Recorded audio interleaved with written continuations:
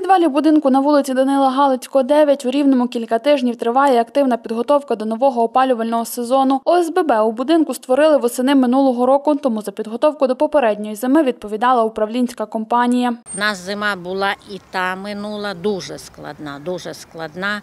В квартирах було холодно, на деяких стояках трошки тепло було, в інших не було, стіни мокріли, цвіли. То ми, наприклад, зараз переживає. Тож, створивши об'єднання співвласників, мешканці мають самі думати про те, як з найменшими втратами увійти у новий опалювальний сезон. Голова правління будинку Любов Середа розповідає, у підвалі був жах. труби нам попалися у спадок від ЖЕКа і управлінської компанії е, в дуже хаотичному вигляді, куча протікання, дуже багато свищів на трубах, всі труби покриті ржею. Зараз хлопці цим займаються, очищають від всяких різних відкладень, від тих свищів, від тої ржі. Розпочати вирішили із ревізії внутрішньобудинкових мереж, аби в разі виникнення будь-яких проблем бути впевненими, що комунікації будинку в порядку. Зробили ревізію е, внутрішньобудинкових е, систем, холодного, гарячого постачання, теплопостачання. Зараз робимо ревізію е, запірної арматури, ставимо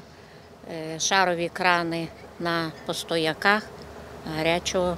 Холодного водопостачання, теплопостачання.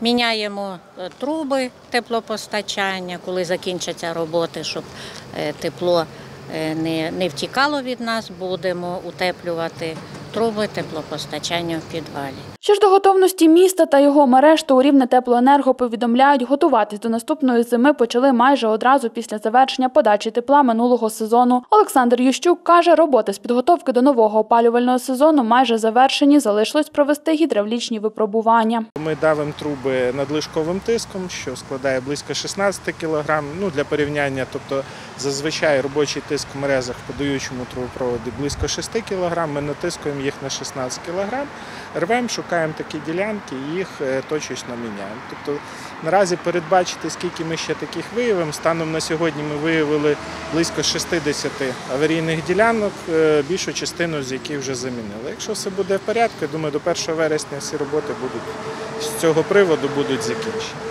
Того, що рівняни мають подбати про цілісність та готовність внутрішньобудинкових тепломереж, не варто забувати і про те, що необхідно вчасно сплачувати за надане тепло. Рік назад, це десь вересень е, 2021 року, е, рівняни боргували близько 100 мільйонів гривень за тепло, то станом на сьогодні можу помилитися, але ну, плюс-мінус 270 мільйонів винні рівняні. Тобто борг катастрофічно е, зріс. Від того, як рівняни впораються з боргами за теплопостачання, напряму залежить початок наступного опалювального сезону та взагалі наявність блакитного палива для обігріву домівок. Надійшли нові умови, нові проекти договорів е, по затвердженому уряду програми так зване ПСО, і воно передбачає якраз для отримання газу потрібно розрахуватися.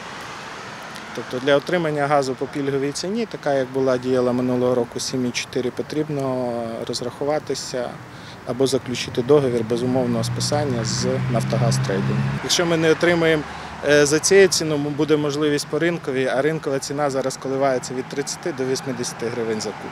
Рівне має ще кілька котелень, які працюють на твердому паливі та у разі дефіциту газу зможуть допомогти містянам не замерзнути. У нас є декілька котелень, і е, так сказати, на біду, не дай Бог що, е, це дозволить рівному, ну можливо, не так комфортно, але як мінімум не замерзнути у разі, якщо взагалі газу не буде. Тобто рівне цим застраховано. Тож як пройде опалювальний сезон, який має розпочати вже за кілька місяців, прогнозувати складно, проте відповідальність лежить на кожному. Анастасія Шепетюк, В'ячеслав Мельник, Віталій Лазарчук. Випуск новин.